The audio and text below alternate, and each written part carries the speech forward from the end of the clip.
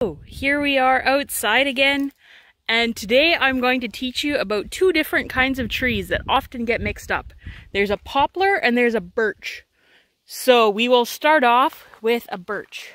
You can see, you might remember a birch from like the nice white bark that you can peel off. Here it is looking a little bit flaky.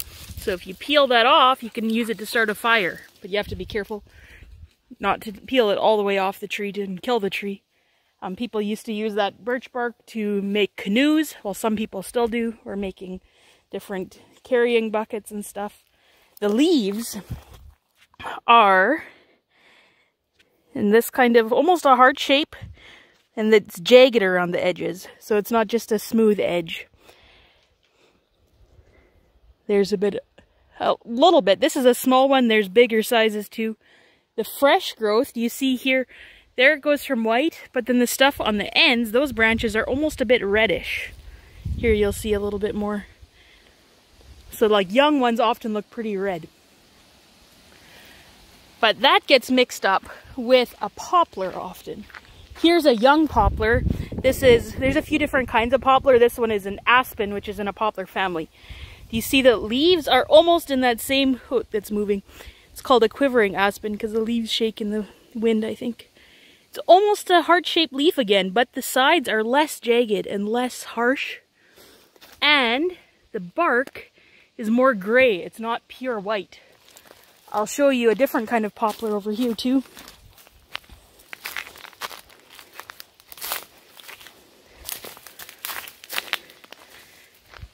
So this one has this shape of leaf it smells pretty good in spring when the fresh buds are out.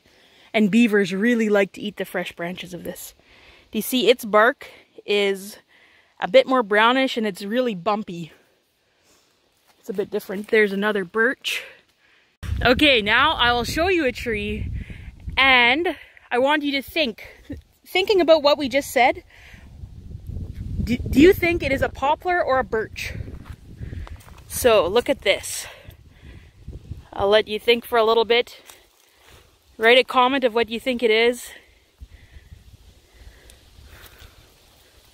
Now, did you say birch?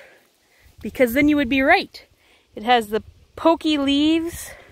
I didn't show you this before, but their flowers look kind of like that, and the seeds will come out of there. It has the pure white bark that's flaky and peeling. I'll show you another one soon. What about this one? It does have pretty light colored bark with some spots in it like birch bark has. Has leaves in a similar shape. I'll let you think about it. I'll show you a better view of it all. This one's a big one. What do you think this is? If you said poplar, or if you wanted to even be more specific and say that it's an aspen kind of poplar, then you would be right. It has heart-shaped leaves, but they're smoother than a birch.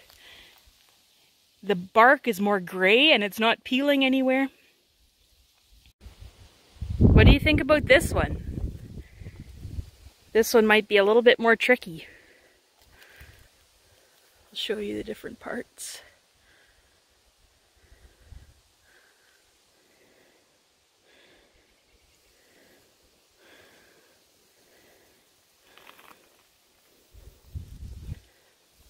This one is also a birch, but the bark up here looks very similar to a poplar. Similar color, but when you look down here, I didn't show you this part. It's peeling like that, and the leaves are still sharper than an as or an alder is. Not an alder, an aspen. So, do you think you guys will be able to tell a poplar from a birch now in the future? I even get confused still. I used to always get really confused and now I know most of the time, but there's some that just are tricky and it's hard to tell. But if that happens, then remember these lessons. Remember the leaf shape. Remember to look at the jagged edges. Remember to look at the bark and I think you'll be able to figure it out. And if that doesn't work, then I just thought I heard somebody. Then um, you can look it up online too. There's a lot of people that know these things, and I'm sure there's more differences too. But why would I bother to tell you this? Why would I bother to teach you th these differences?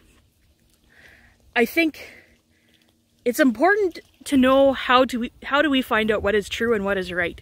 With a poplar and a birch, there's a lot of people that have learned that and we've learned in the past and you can see the differences, right? So you need to learn them from somebody who knows. And you'll see in a lot of the videos, pretty much all of them, people will talk about the Bible and talk about things from the Bible.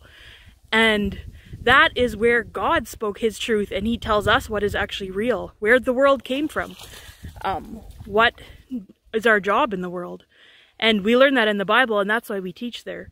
To know about nature, we learn from people who know and we know Eh, like look at it and know the truth. And if you want to know something about your life or what you're supposed to do in life, what is right and what is wrong, then it's important to look at the Bible for that.